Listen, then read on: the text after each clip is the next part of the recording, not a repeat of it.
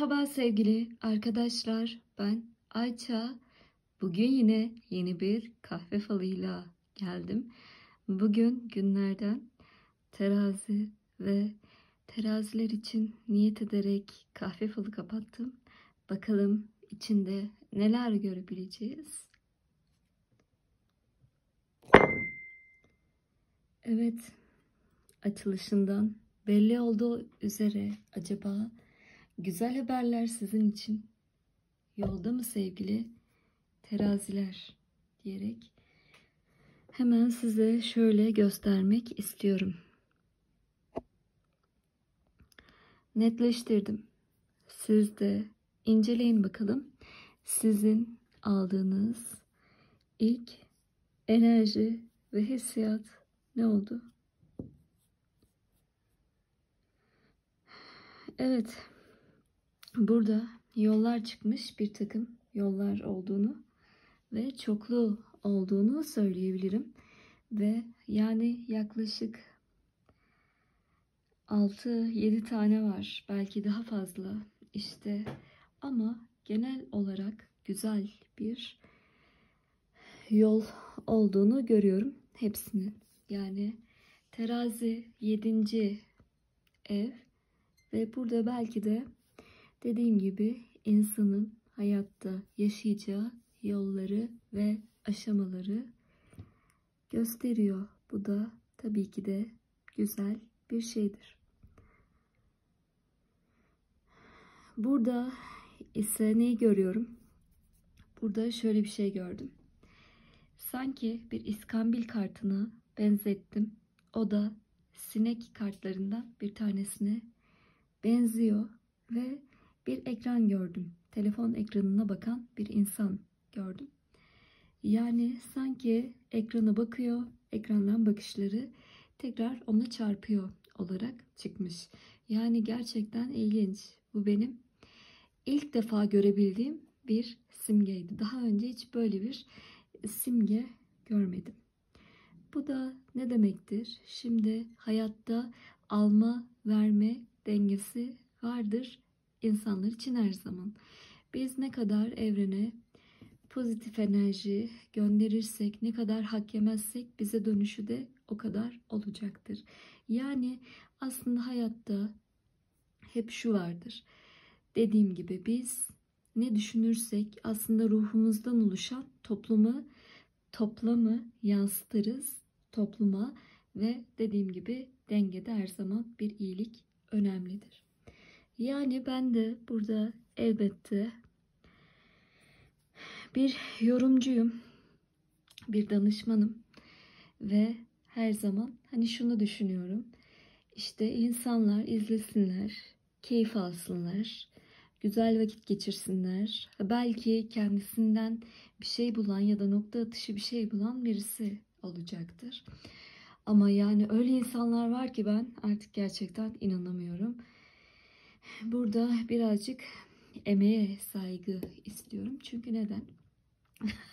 Mesela ben ciddiye almıyorum. Ben gülüp geçiyorum ama aylar önce yine yapılmış bir yorum. Raziye isimli bir şahıstan, kişiden. E, teraziye. Yani hani Raziye ismi bilemiyorum ama biraz yani hani böyle yaşı geçmiş işte ne bileyim köyde arsa sahibi bir insanın adı olabilir ancak yani. O yüzden yani kimse elbette böyle bir şey demek istemezdim ama inanın. Fal başlığına işte küfür mü yazan ararsın. Video içeriğinde küfür üreten mi ararsın. Yani hani böyle kişiler var inanın. Ve ben o yüzden bu işin Şampiyonlar Ligi ve en iyisi olduğumu düşünüyorum. Niye? Çünkü zarif ve asil bir şekilde anlatıyorum yani kahve fincanında çıkanları ve yani hayatta mesela şöyle kelimeler kullanmaktan hoşlanmam. İşte dengesiz, işte öyle böyle ya da işte hani zaten ben kullanmıyorum ve kullansam bile YouTube bana kazancımı hani vermiyor mu? Öyle bir şey yok. Yani kısacası diyeceğim budur ki e, kullananına bile verirken bana hayli hayli veriyor ki ben hani kullanmıyorum. Kullansam bile verecek ama hani burada sadece şu olarak kabul edilmeli bir şeyler katmak ya da hani kendisine bir şey katamayan bir insanın ne kadar bir şey katabilirim? O da ayrı bir mesele ama ben sadece hani böyle insanlar varsa gidip çiftçi kooperatif videoları izlesin diyorum. Ben başka bir şey diyemiyorum. Ve hemen tekrardan tabii ki de yorumuma geçeceğim. Çünkü niye bana da keyif veriyor. Güzel yani çıkan simge ve yorumları oluşturmak ve burada tabii ki de öyle olmayan kişiler de vardır. O öyle olmayan emeğe saygı olan kişiler için gelsin. Burada bir süperisi olduğunu görüyorum. Süperisi aslında tasvir olarak böyle hayatta güzel bir ışıltıyı simgeler. Süperisi aslında mesela mitolojide de vardır, süperisi vardır. İşte nehir perisi vardır ve bazen böyle o süperisi gerçekten insanın hayatına çok şey katar, çok şey yansıtır. Aslında insan zaten ayna gibidir. Suya baktığında yansımasını görür.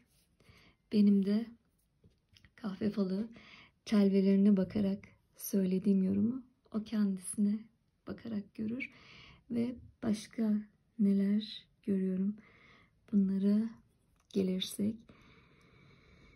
Yani ikili ilişki durumları var ya da arkadaşlık iş durumları var sevgili teraziler ve böyle dediğim gibi bir kuşu özgür bırakan bir insan var belki de bir turna ama turnayı gözünden vurmak olabilir. Yani başka saçları dalga olan böyle hafif önüne de kahkülleri seyretmiş birisi var. Ama sanki bir küslük var. Yani kollarını kavuşturmuş ve kendisi böyle içine kapanmış gözüküyor. Başka tabağa geçersek bakalım tabakta neler gözüküyor, neler var.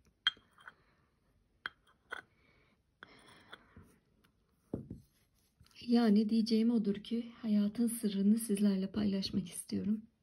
Hayat her zaman verdiğimiz pozitif enerjiyi bize geri döndürecektir. Hayatın sırrı gerçekten bu kadar basit. Koca bir hayatın özetini size bu şekilde yapabilirim.